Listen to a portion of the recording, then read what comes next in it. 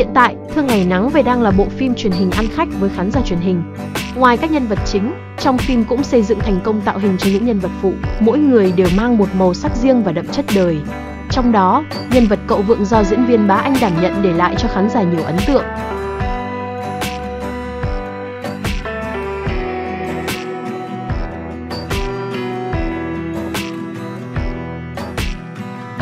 Ba Anh sinh năm 1974, được khán giả biết đến và yêu mến trong vai trò diễn viên kịch và truyền hình. Anh thuộc thế hệ diễn viên tài năng cùng lứa với những gương mặt nghệ sĩ nổi tiếng, quen thuộc với công chúng cả nước nhiều năm qua như Vân Dung, Đức Khuê, Kim Oanh, Nguyệt Hằng, Anh Tuấn của nhà hát tuổi trẻ,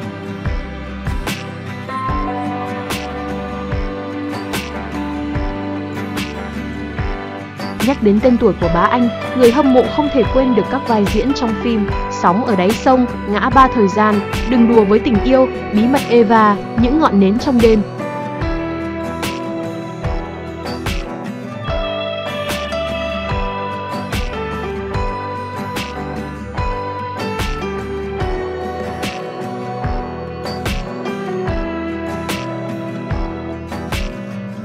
Cuối năm 2021, nam diễn viên tiếp tục ghi điểm mạnh mẽ với khán giả qua bộ phim Thương Ngày Nắng về đang phát sóng.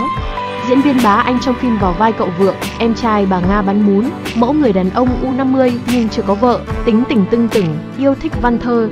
Với vai diễn này, anh đã khiến không ít lần khiến khán giả phải cười ra nước mắt và bày tỏ sự thích thú.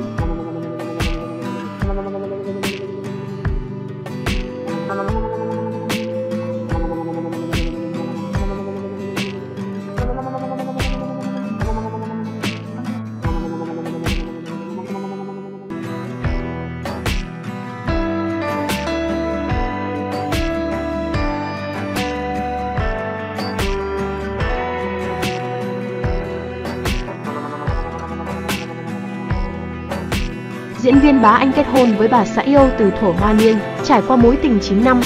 Được biết, vợ của anh có tên là Thạch Anh. Chia sẻ trên báo chí, anh luôn thừa nhận rằng để có được như ngày hôm nay là công lớn của bà xã Thạch Anh.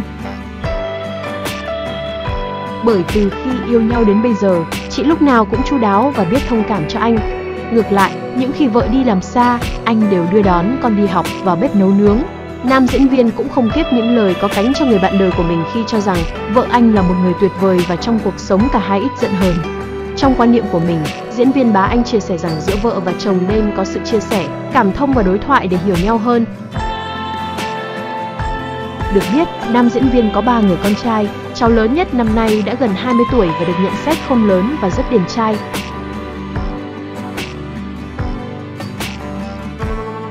Ở tuổi U50, Diễn viên Bá Anh dù chưa thực sự đạt đến đỉnh cao của sự nghiệp với những vai chính, song anh vẫn được khán giả chú ý, ngưỡng mộ bởi tài năng cũng như sự yêu nghề.